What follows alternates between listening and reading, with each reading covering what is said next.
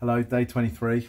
Um, I've really struggled recording this video because my thoughts are a bit complex today and every time I say them they go a bit funny or I communicate them in a way I'd be really unhappy with putting in the public without being able to have a conversation. So anyway, um, just had my rice um, and yeah, we're the good side of halfway now. So we're closing in on the end now from here on. It's downhill.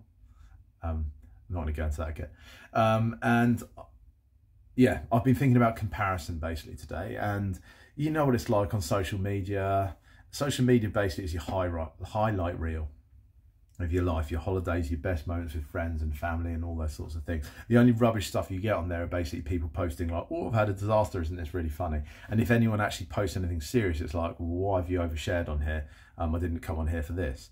So we end up in this really bad sort of vicious circle on on Facebook, I think, or social media, Twitter or Instagram, whatever it is that you use, of seeing the highlights of other people's lives and that impacting you because you're comparing yourself to what their life is.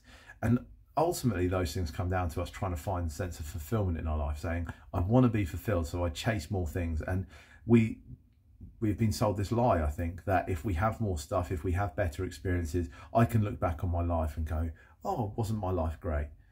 Um, but I actually believe that life is much deeper and much more meaningful and than th those experiences and those things.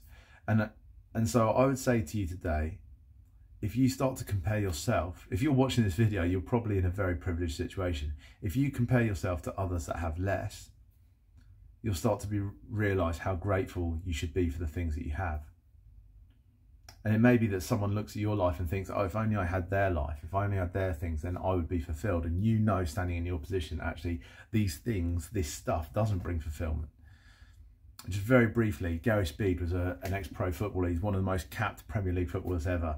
Um, and I don't know his personal personal story or anything really, but I know that he was a married man with children. He had all the things that society would say money, fame, um, he was a pundit, all those things. Yet he, he did commit suicide so sadly and so tragically um, in his four, I think just as he turned 40. And you'd ask the questions, well, he's got everything our society says you need.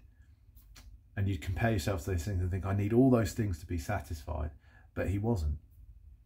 So my my question for you today, I guess, or my thoughts today are around like what is it that satisfies you? What is it that will ultimately make you content? And mean that you won't be comparing yourselves to people that have more all the time.